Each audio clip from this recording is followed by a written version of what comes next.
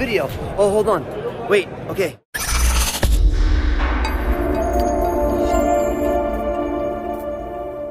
James, what are you looking for? What are you looking for out here? I mean, if you have anything to do with construction or concrete, you have to be here. This is where new technology is being born, there's new ideas.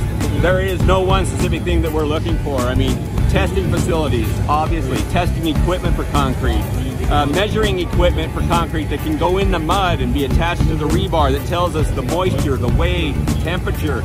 Uh, that becomes critical. Uh, pouring equipment, it's all here, everything's here. Uh, and it all becomes a part of what this new technology is, is going to do. People have to understand it. We have to have ways of testing it, cutting it, finishing it, all the above. It's all that, that's what I'm doing here.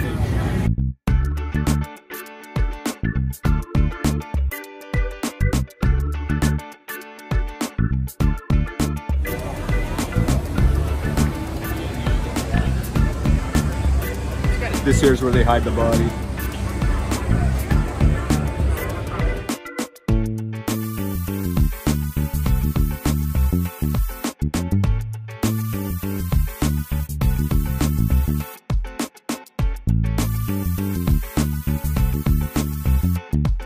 papers.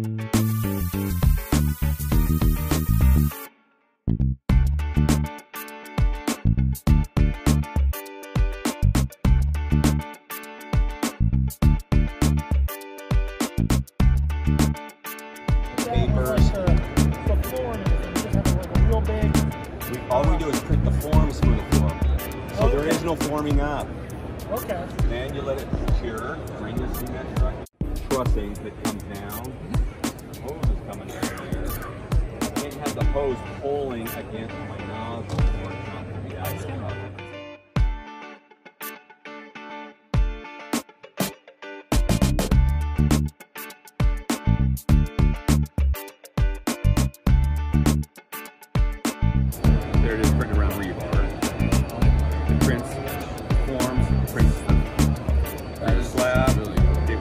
It will be soon.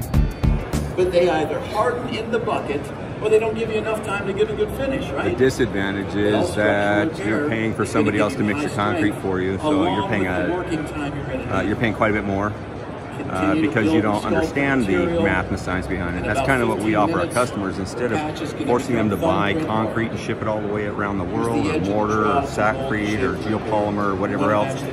Uh, we're actually given, we, our scientists are working on the actual formulas and making them available to our contractors so they know what additives to, to add and what to do to get uh, to accomplish different needs. So that's a very, very significant deal uh, with Mudbots. We give the formula. So other people, they just want to keep selling you the ink. They want to make it easy for you. But shipping stuff all around the world, shipping stuff across the United States, it's expensive. So most of what you need, 80%, 90%, Home Depot.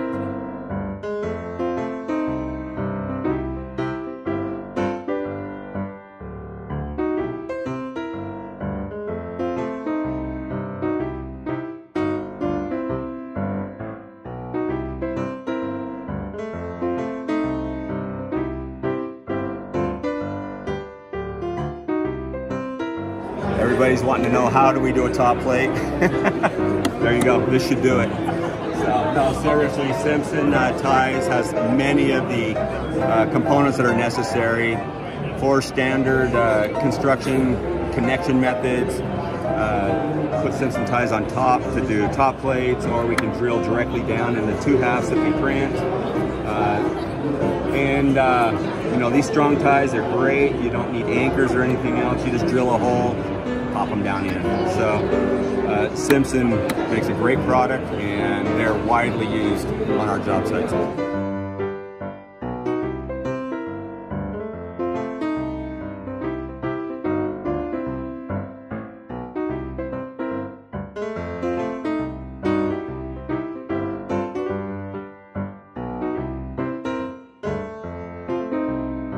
Concrete printing in house. I can't faster with the basis period to support each pass. So your duration is that we create one inch, two inch, three inch. We keep hitting the whole exterior and interior walls. Okay, one inch at a time. So here James is explaining to a vendor the entire process of printing a house and he needs to understand what the sensors can do for him.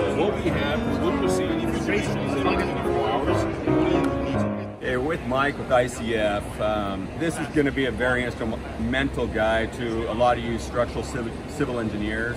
As you start to look for ways to use 3D concrete printing to create walls that are hollow or to eliminate horizontal rebar, uh, vertical rebar in some uh, cases, synthetic fibers, understanding the different types of fibers, strand length, and how that all works. I mean, for, for most structural civil engineers, that's, out that's outside their scope. They, especially in a residential element, they're playing with uh, 500 to 5,000 psi concrete, not recognizing that in a lot of cases, uh, there's concretes that go up to 50,000 psi. So uh, we, we, we get a lot of questions that we can't answer. We build a printer, it'll print anything that it's supposed to, but when you start getting into the math and science of it, Mike here, Mike is the guy that you want to talk to. And so I just want to introduce him. I want you guys to, to know Mr. Cook and know that you can uh, contact them. They are they're open to this is what they do. They help people resolve the math. So Exactly. I guess with that being said, Mike, what what, what does your company do? Uh, any kind of fiber reinforcement. We do everything from microfibers up through macrofibers, uh, even some level four structural type fibers. I come from the concrete world. Uh, I sit on three ACI committees, so I'm one of those guys that writes code. If you come to me and ask me a question, I'm going to give you an ACI answer not a, hey, use my fiber because somebody told me it was good and make up something. You are going to get engineering behind it so you know exactly what you're getting. So it's all right for me to let the civil engineers know you're trying to design a wall.